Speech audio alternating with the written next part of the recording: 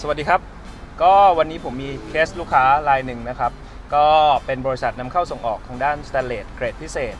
นะครับ ก็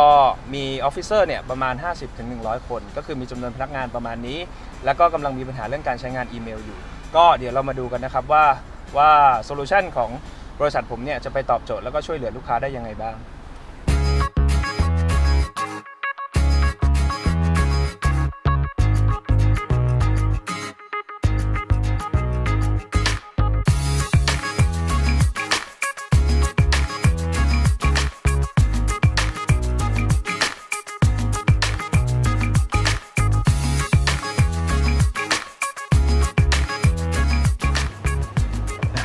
คุณโบทสวัสดีครับ สวัสดีครับสวัสดีครับ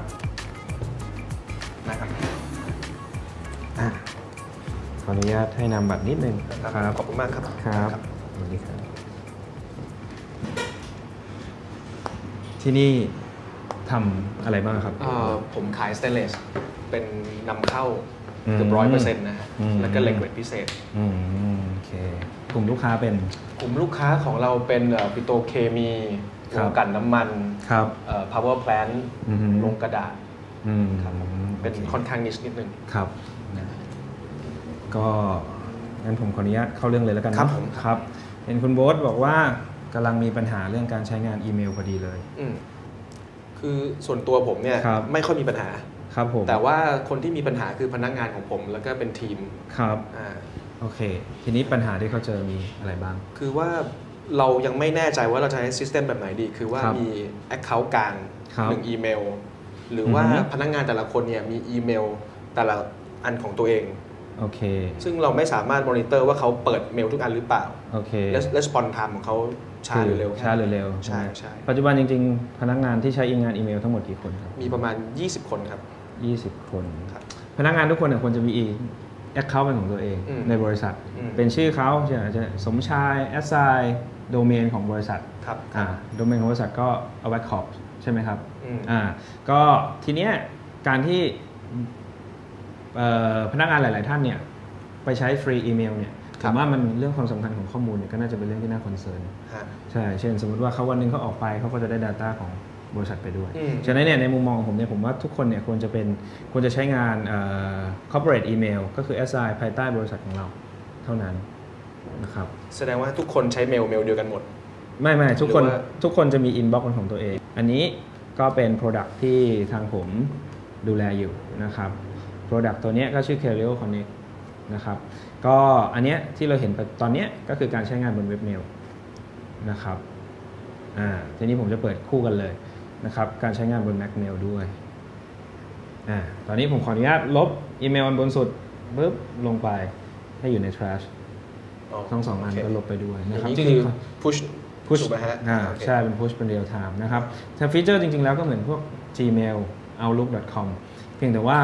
เรามา provide มัน pro provide มันให้อยู่ในรูปของ corporate อืมนะทีนี้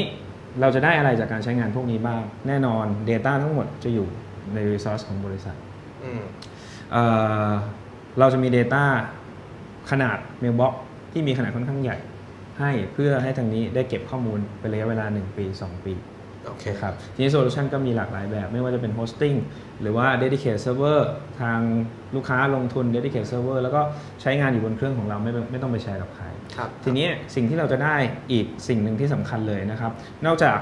cross platform และ Mac ก็ใช้ได้ Outlook ก็ compatible อืม iPhone ก็ได้ Android ก็ได้นะฮะทุกอย่างจะเห็นเป็น Data เดียวกันหมด ฉะนั้นปัญหาของการ read หรือไม่ read อีเมลเนี่ยหมดไปละ เอ๊ะเมลนี้อ่านหรือยังเมลนี้หล่นอยู่ที่ไหนอืมไม่มีแล้วนะครับอืมเราก็เราก็ไม่ว่าเราจะจัดโฟลเดอร์ยังไง บน iPhone หรือบนเอ่อ MacBook web mail ทุกอย่างเป็น Data เดียวกันหมดอืมจะแจ้งเตือนผมยังไงครับอ่าต้องเป็น log เข้าไปอ่านครับ ผมต้อง log เข้าไปอ่าน ใช่ ต้องเป็นมันจะเป็น log ให้อ่าน เช่น อยากทราบว่าพนักงานคนนี้เช็คเมลล่าสุดเมื่อไหร่ เราก็รู้ได้ เขาได้อ่านเมลฉบับนี้หรือเปล่า หรือว่าดึงไปทำอะไรกับมันไหม เราก็รู้ได้หมด คือจะมีรายงานรายงานเลยว่าอีเมล ฉบับเนี้ย ตั้งแต่ส่งเข้า inbox ปุ๊บกว่าเขาจะอ่าน มันใช้เวลาเท่าไหร่ อ่าไม่ไม่ถึงขนาดนั้น ครับ แต่ว่าเรารู้ได้ว่าเขาอิดิตอะไรกับเมลนั้นหรือเปล่าอ๋อ ได้เหมือนกัน ใช่ได้เหมือนกัน โอเคก็ track ได้นะครับ analyze ได้ว่าพนักงาน วันนี้พนักงานส่งเมลออกไปทั้งหมดกี่ฉบับ ครับ ครับเข้ารับเข้ามากี่ฉบับติดต่อถึงแบงค์นู้นแบงค์นี้ ติดต่อถึงลูกค้ากี่คนอืมอืมฉะนั้นเนี่ยแล้วยิ่งในอนาคตเนี่ยเราทางทีมเราเนี่ย develop เองให้มีระบบแจ้งเตือน เช่น คุณ A ครับส่งเมลไปหาบริษัท B ครับถ้ามีการส่งกันให้ report admin report เจ้าของได้เลยอืมครับ คนที่จะ report ผมนี่คือระบบระบบระบบ report เลยพใช่ไหมอ๋อระบบจะ report แล้ว นะครับก็ถ้าเราสามารถทำ internal audit ได้ Data เราไม่หายไปไหนอืมนะครับถ้าใช้งานเป็นแบบ sharing เนี่ยนะครับค่าใช้จ่ายอยู่ที่ปีละ 850 บาทต่อ account 850 บาทต่อ account อ่าเคาท์ได้พื้นที่ 5 gig โอเคนะแต่ว่าการใช้งานเป็นแบบ sharing เนี่ยมันเอ่อเราไม่สามารถ เลือกได้ว่าเราจะ backup นานแค่ไหน เราต้องเราต้องปฏิบัติตาม global policy ของเครื่องอย่างเดียวก็คือ ผมจะให้ 1 เดือนย้อนหลัง เราสามารถ recover ข้อมูลได้1เดือนย้อนหลังสำหรับการใช้งานแบบ share host อือหือด้วยค่าใช้จ่ายนี้ แต่ถ้าเราบอกว่าเรา concern เรื่องของการ backup มากกว่านั้นอืมเราอยากได้ 3 เดือนหรือ 6 เดือนครับเราก็ต้องลงทุนเซิร์ฟเวอร์เรา แล้วก็ให้ทางทีมของผมบริหารจัดการแล้วก็ดูแลให้แบ็กอัพ policy อาจจะเป็น 6 เดือนก็ได้ อันนี้ก็คือแล้วอันนี้คือรูปแบบการใช้งานสมมุติผมมีคอนแทคของลูกค้าของผมเนี่ยครับแล้วคอนแทคลูกค้าเนี่ยอยู่ในโทรศัพท์ ของพนักงาน ครับเมื่อเขาออกไปแล้วผมสามารถลบได้อ่า edit ได้หมดเลยครับอิดิทได้หมดเลยใช่ครับ แต่ต้องเป็น policy ที่กำหนดว่าเขาต้องใช้sync กับบริษัทนะ อ่าอ่า ก็คือเป็น option ไป เป็น option ไป ถ้าเขา sync กับบริษัทหรือว่ามี contact ส่วนกลางอ้อนอกจากนั้นเรายังสามารถแชร์ลิงก์กันได้หมด ปฏิทินส่วนตัว ปฏิทินกรุ๊ป ปฏิทินแผนกอืม contact ส่วนตัว contact group contact แผนก เราสามารถทำได้หมด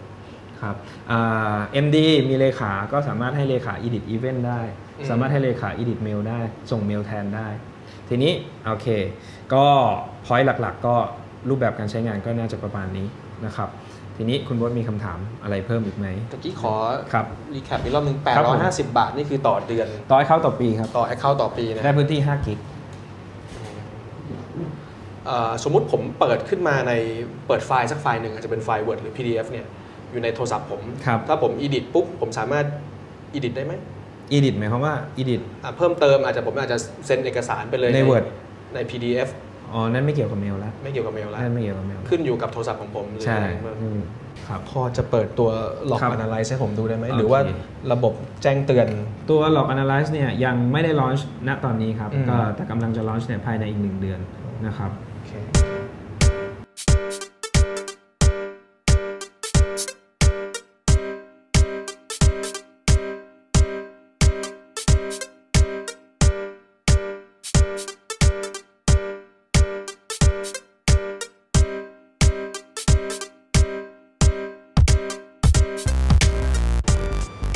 คโอเคครับคุณโบทดูแล้วเป็นไงบ้างน่าสนใจไหมก็น่าสนใจมากดีครับกว่าระบบที่ใช้อยู่ปัจจุบันครับโอเคอ่าโอเคครับเอาอย่างนี้แล้วกันคุณครับคุณเอกคุณเอกส่งโคเ t ชันให้ผมแล้วกันโอเคเอาได้เริ่มที่ 20 20 account เขาก่อนโคหลังจากนั้นก็ได้ครับอาจจะเป็นทั้งบริษัทเลยได้ครับนะโอครับเคครับงั้นเดี๋ยวผมส่งให้ดูแล้วก็อาจจะมีดีเทลเพิ่มเติมเรื่อง Log ที่คุยกันไปเมื่อกี้ด้วยอืมใช่ครับนะครับโอเคก็อาทิตย์หน้าผมได้เนาะอ่าได้ครับขอบคุณมากโเครับขอบคุณครับสวัสดีสครัวับสดีครับสวัสดีครับโอ เค ขอตัวนะครับ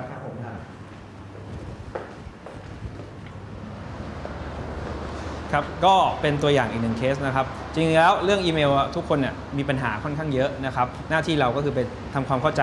นะครับอธิบายให้ลูกค้าเนี่ย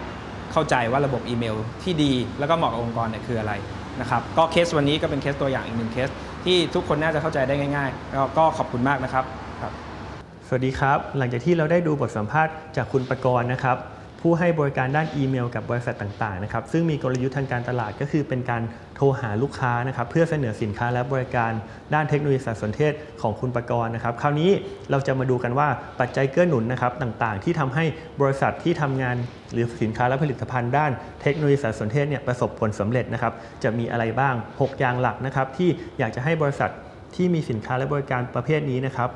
คำนึงถึงนะครับเพื่อความสำเร็จในธุรกิจนะครับอย่างที่หนึ่งก็คือคุณจะต้องมีสินค้าและบริการที่ตรงต่อความต้องการของลูกค้านะครับไม่ว่าจะเป็นด้านฟีเจอร์ หรือดีไซน์นะครับเช่นการออกแบบและรูปแบบกระบวนการทำงาน เพื่อเพิ่มประสิทธิภาพ และประสิทธิผลของการทำงานของกลุ่มลูกค้าของคุณเองนะครับเขาก็จะมาซื้อสินค้าและผลิตภัณฑ์ของคุณนะครับ อย่างที่2เนี่ยคุณจะต้องทำการโฆษณาประชาสัมพันธ์สินค้าของคุณนะครับ ไปยังช่องทางการตลาดต่างๆนะครับเพื่อให้ลูกค้าเนี่ยเป็นที่รู้จักและเข้าถึงสินค้าและบริการของคุณได้นะครับและแน่นอนราคาจะต้องสมเหตุสมผลด้วยนะครับ ข้อที่3นะครับโปรแกรมของคุณเองนะครับหรือสินค้าและบริการของคุณเองเนี่ยจะต้องใช้งานได้ หรือเราจะเรียกว่า user friendly นะครับลูกค้า